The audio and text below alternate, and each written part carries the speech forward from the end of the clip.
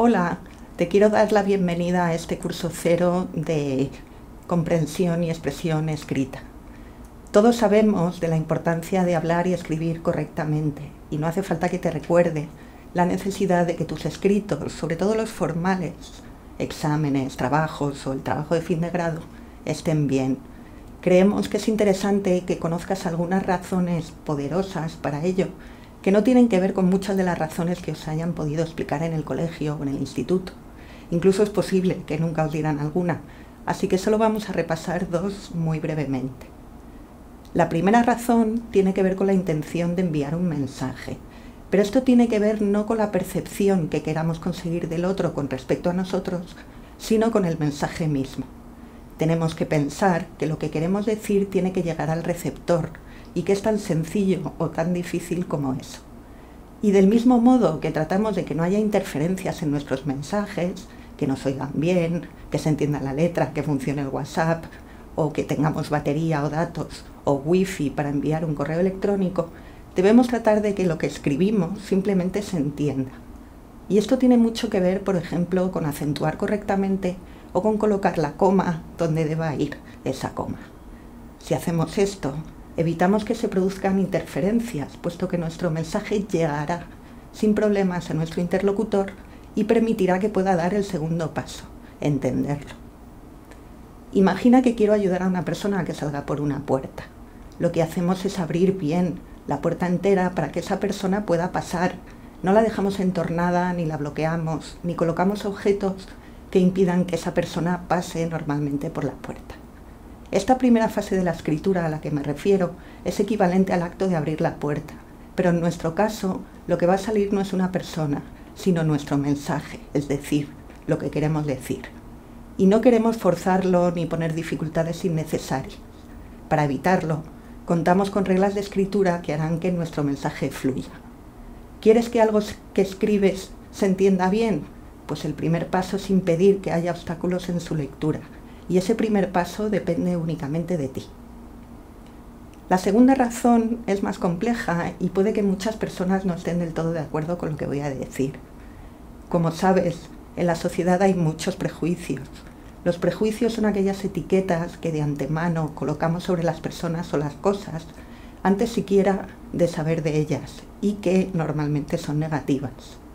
Los prejuicios afectan a todos los comportamientos sociales y van desde las opiniones, opiniones políticas, religiosas o económicas hasta la forma de vestir o la manera de comportarse.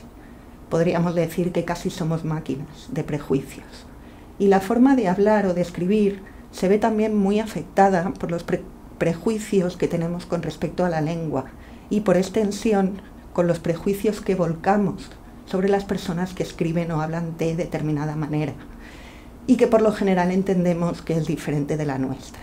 Por ejemplo, tenemos muchas ideas preconcebidas, por lo general incorrectas o falsas, acerca de los diferentes acentos del español o de las diferentes variedades de la lengua que empleamos. Tenemos prejuicios sobre el uso de determinadas palabras o expresiones.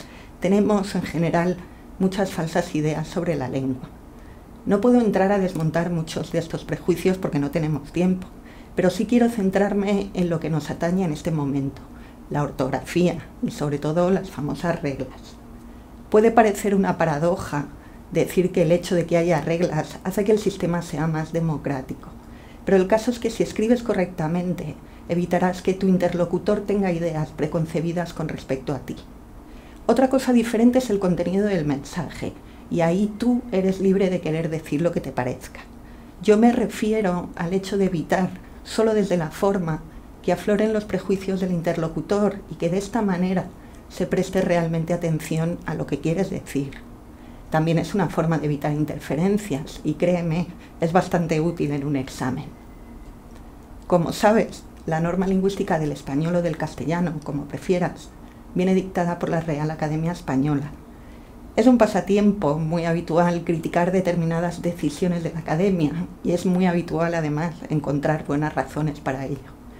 Este pasatiempo no es de ahora, sino que a lo largo de los siglos en los que ha existido la academia ha habido siempre muchísimas discusiones en torno a sus decisiones y en torno a sus ortografías, sus gramáticas o sus diccionarios. Independientemente de tu consideración, vamos a decir política, acerca de la academia, debemos tener en cuenta que las normas que vamos a repasar a lo largo de estos módulos tienen que ver con ella. Como dije antes, estas no van a ser una clase de lengua al uso, porque vamos a partir del hecho de que conoces las reglas y de que solo debes repasarlas si tienes alguna duda. Del mismo modo, nos interesa más que tengas recursos para resolver cualquier problema o duda puntual que te surja a lo largo de los años, y eso es lo que tienes en el documento que acompaña este vídeo.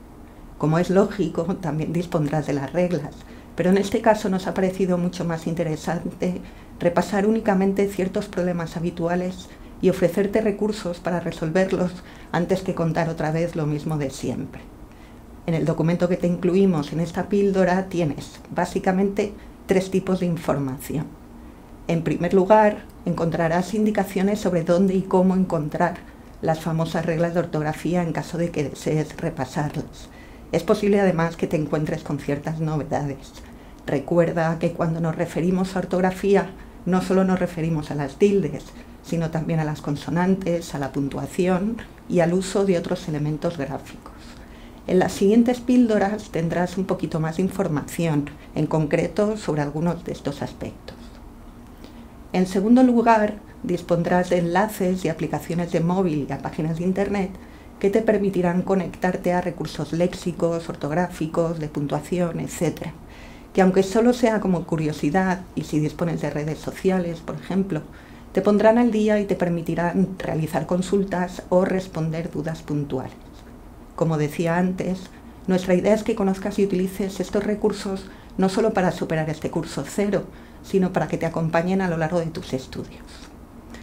En tercer lugar, y por último, verás una relación de pequeños test que hemos encontrado también en Internet y que probablemente conozcas.